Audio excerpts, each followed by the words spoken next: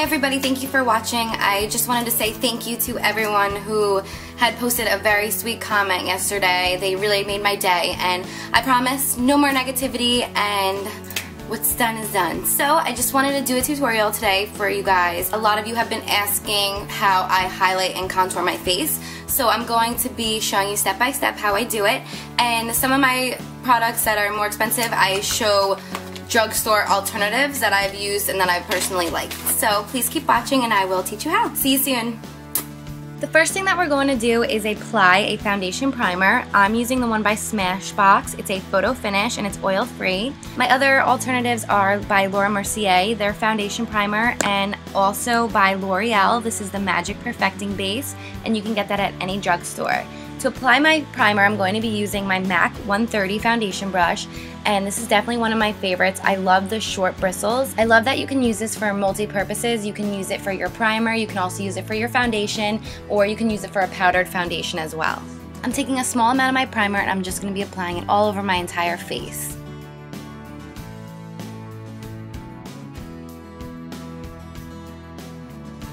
Next, I'm taking a yellow Prep and Prime Highlighter Light Boost, which could be compared to the Maybelline Cover Stick in the color yellow. This is going to correct any dark spots or any dark areas on your face, and I love applying this underneath my concealer because it's going to help keep under my eyes nice and bright. Besides under my eyes, I'm going to apply a little bit on my chin, on my nose, and also in between my eyebrows, again to highlight these areas. This part is optional, but before I rub in the Prep and Prime, I'm going to be applying a little bit of the Dream Lumi Touch Highlighting Concealer by Maybelline, and it's a salmon color. And the reason that the salmon is really good for underneath your eyes is because salmon really cancels out the dark circles under your eyes. So for me, I don't have very bad circles, but if you have darker skin, definitely try a salmon colored concealer. To rub these colors in, I'm going to be using my MAC I believe it's number 188 brush and it's pretty similar to my other one. It just has longer bristles and this one I love for blending in stuff like this because it's not going to blend it in deeply into my skin. It's just going to smooth it out while still leaving the highlighter on my face.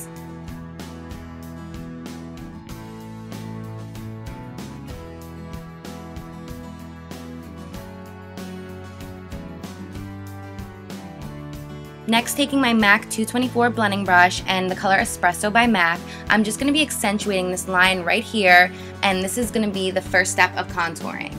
You're just going to be applying this color right along this line as so.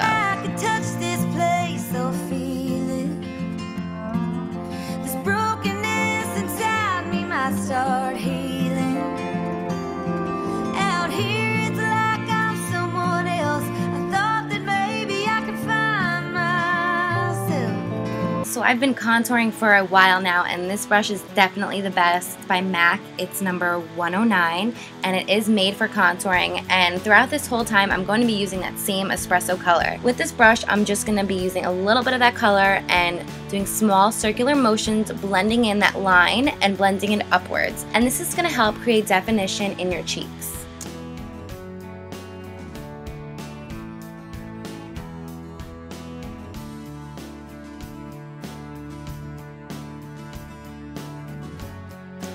When contouring your cheeks, it's a lot easier if you randomly smile. I know it looks funny and it looks like I'm probably smiling at myself, but I promise you it's just my technique.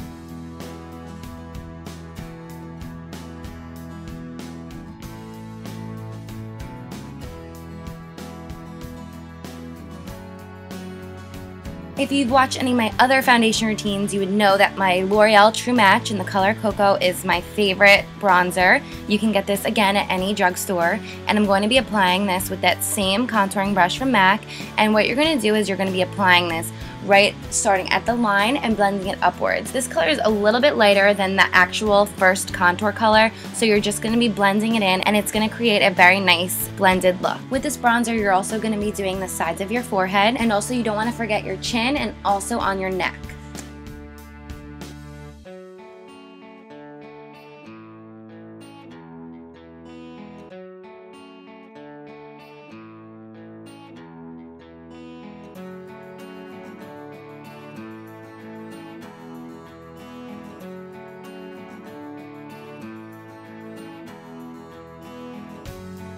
Going back to the same MAC brush, I'm just going to be very lightly blending in everything I had just done. It's really important that you blend all this together because in some lighting you will be able to see some of the brush strokes. So using a brush like this very lightly is going to be perfect for that. The next step is the fun part. I'm taking my MAC 214 brush and it's a little smudge brush and I use this to contour my nose. A lot of you are asking how to make your nose appear smaller and this is how. You're going to be taking the same espresso color and very carefully you're going to draw two lines on the sides of your nose and also you're not going to want to forget to do the tip of your nose. And what this does, it's going to add shadow onto your nose so it's going to make it appear smaller. I know a lot of you are asking if I had gotten a nose job or anything like that. And if you do look back at some of my older videos, my nose does look a lot smaller, but it's all because of this wonderful, amazing contouring trick.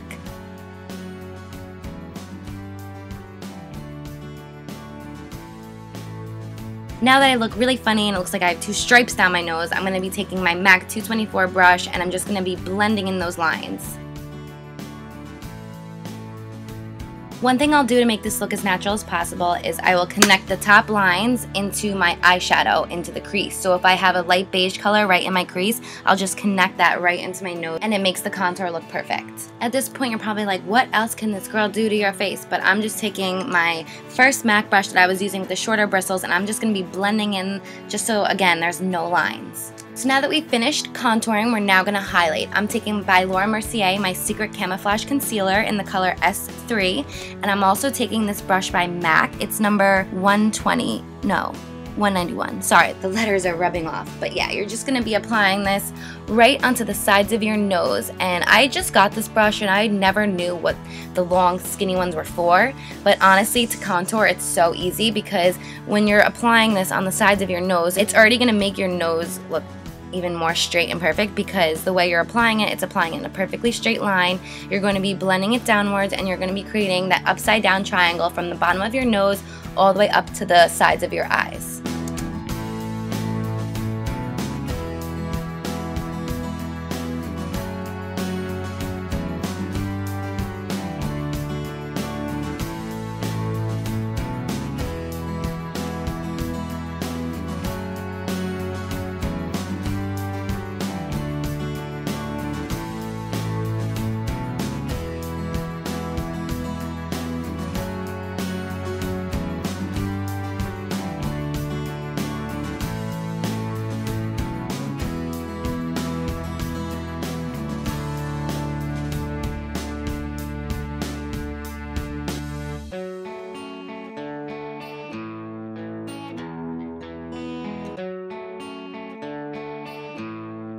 You're then going to take a little bit on your finger and just apply this right down the middle of your nose and also on the bottom of your chin and in the middle of your eyebrows. And again, this is just going to be highlighting the parts of your face.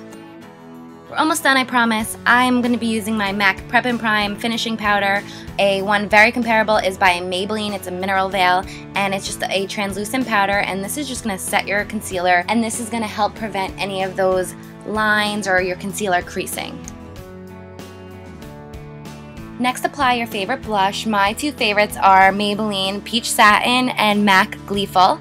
And I'm using my MAC blush brush, and it's number 123. And this one is definitely my favorite for blush. I love that it's nice and fluffy. And when I apply my blush, I just pat the blush right onto the brush as so. And if you smile, you can see exactly where the apples of your cheeks are and you're just going to be applying that. I dab it on instead of actually swiping it on. For lipstick, I'm using my favorite nude lipstick by MAC, which is called Creme de Nude, and I'm also using by Maybelline. It's the Baby Soft Lips, and it's a pink chapstick color. And if you mix these two together, it's a perfect color.